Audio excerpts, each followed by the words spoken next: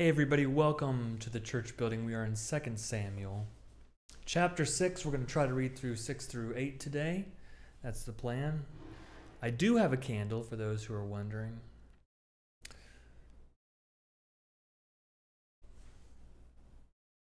Kind of has a terrible smell. It's like a rose soap that, that you don't want your house to smell like, but it's the only candle I have. this candle was actually gifted to one girl who then gifted it to another guy who then regifted it to me. So it's had one, two, three. This is owner number four. Original guy, girl, new guy, new guy. So I'm owner number four of this pink candle. It smells kind of like a soapy, soapy rose. Soapy rose. Let's dive right in. Chapter 6. David again gathered all the chosen men of Israel, 30,000. David and all the people with him set out and went from Baal, Judah, to bring up from there the ark of God, which is called by the name of the Lord of hosts, who is enthroned on the cherubim. They carried the ark of God on a new cart and brought it out of the house of Abinadab, which was on the hill. Uzzah and Ahio, the sons of Abinadab, were driving the new cart with the ark of God, and Ahio went in front of the ark. David and all the house of Israel were dancing before the Lord with all their might, with songs and lyres and harps and tambourines and castanets and cymbals when they came to the threshing floor of Nacon, Uzzah reached out his hand to the ark of God and took hold of it, for the oxen shook it. The anger of the Lord was kindled against Uzzah, and God struck him there because he reached out his hand to the ark, and he died there beside the ark of God. David was angry because the Lord had burst forth with an outburst upon Uzzah, so that place is called Perez Uzzah to this day. David was afraid of the Lord that day. He said, how can the ark of the Lord come into my care? So David was unwilling to take the ark of the Lord into his care in the city of David. Instead, David took it to the house of Obed Edom the Gittite. The ark of the Lord remained in the house of Obed Edom the Gittite three months. And the Lord blessed Obed Edom and all his household. It was told King David, The Lord has blessed the household of Obed Edom and all that belongs to him because of the ark of God. So David went and brought up the ark of God from the house of Obed Edom to the city of David with rejoicing. And when those who bore the ark of the Lord had gone six paces, he sacrificed an ox and a fatling. David danced before the Lord with all his might. David was girded with a linen ephod. So David and all the house of Israel brought up the ark of the Lord with shouting and with the sound of the trumpet. Verse 16. As the ark of the Lord came into the city of David, Michal, daughter of Saul, looked out of the window and saw King David leaping and dancing before the Lord, and she despised him in her heart. They brought the ark of the Lord and set it in its place inside the tent that David had pitched for it. And David offered burnt offerings and offerings of well being before the Lord. When David had finished offering the burnt offerings and the offerings of well being, he blessed the people in the name of the Lord of hosts and distributed food among all the people, the whole multitude of Israel, both men and women, to each a cake of bread, a portion of meat, and a cake of raisins. Then all the people went back to their homes. David returned to bless his household, but Michal, the daughter of Saul, came out to meet David and said, how the king of Israel honored himself today, uncovering himself today before the eyes of his servants' maids, as any vulgar fellow might shamelessly uncover himself. David said to Michal, It was before the Lord who chose me in place of your father and all his household to appoint me as prince over Israel, the people of the Lord, that I have danced before the Lord. I will make myself yet more contemptible than this and I will be abased in my own eyes, but by the maids of whom you have spoken, by them I shall be held in honor. And Michal, the daughter of Saul, had no child to the day of her death.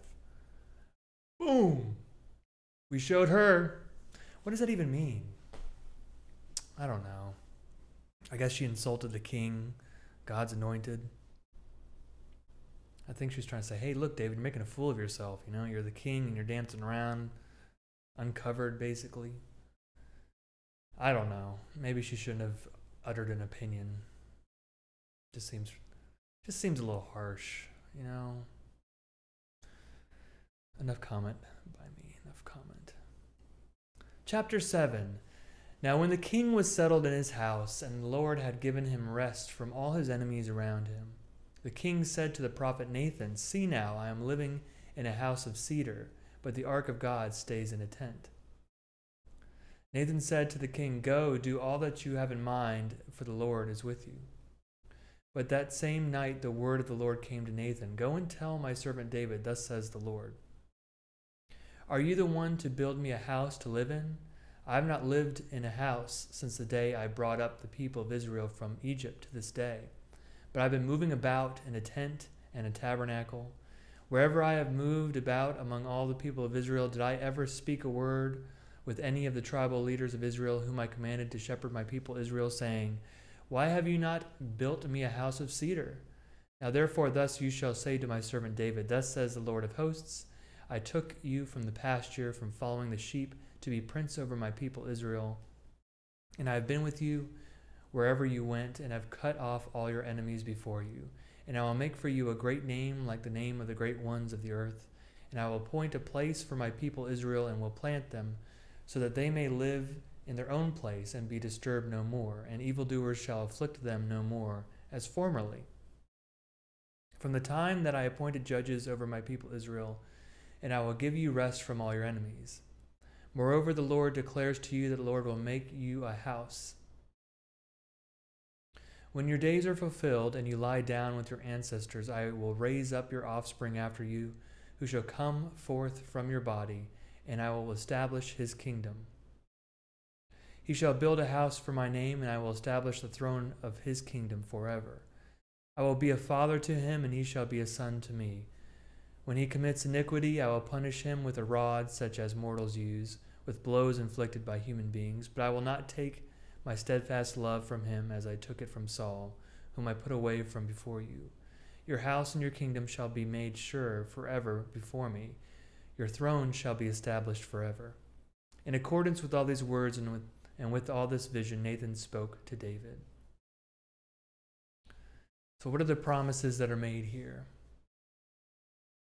I will make a make for you a great name, verse 9. 10.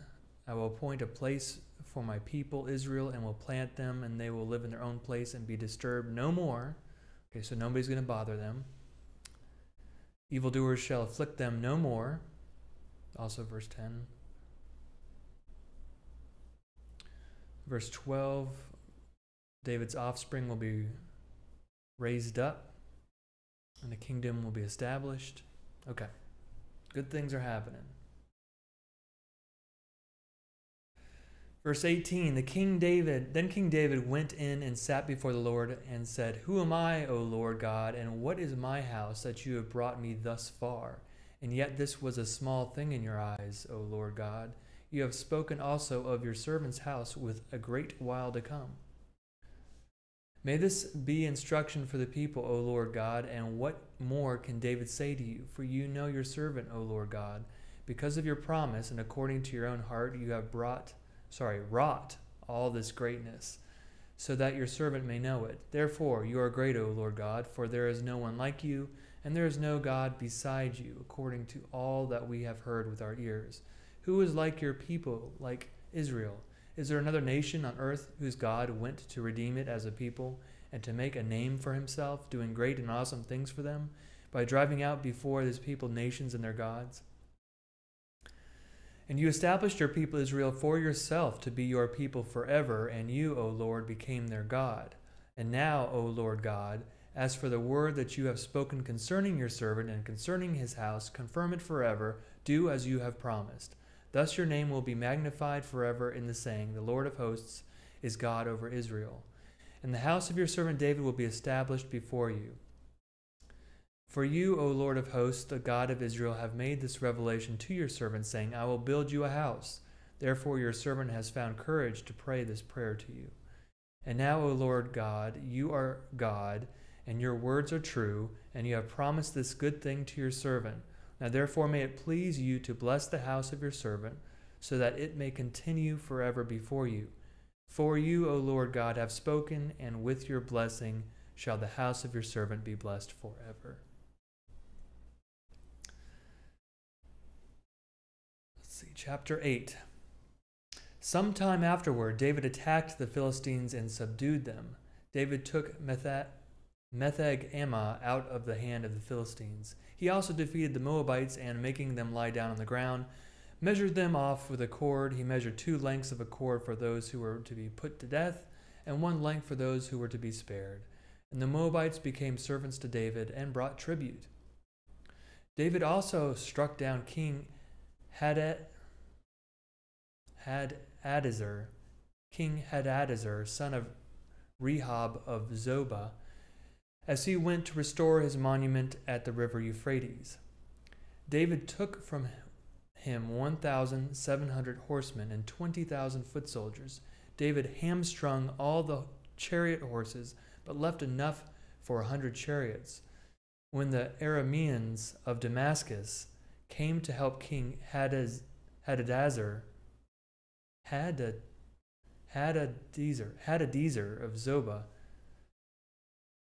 David killed 22,000 men of the Arameans. Then David put garrisons among the Arameans of Damascus and the Arameans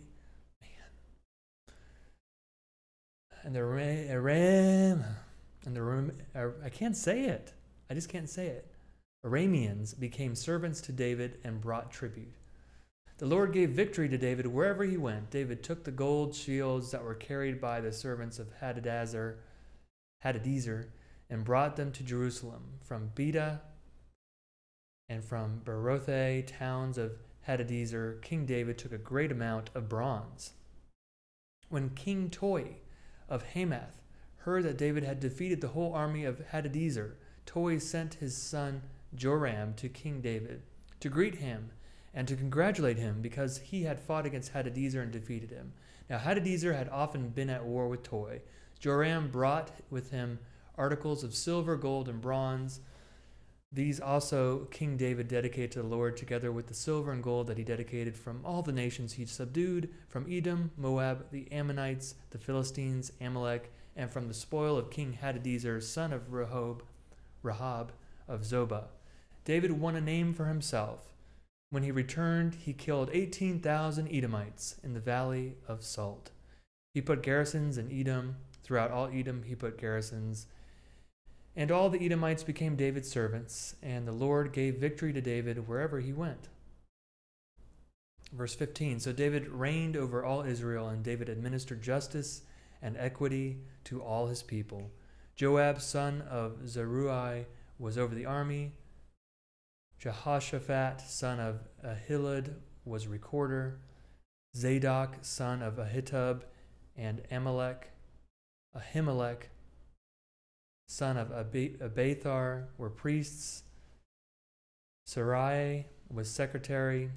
Benaiah, son of Jehoiada, was over the Cherethites and the Pelethites, and David's sons were priests.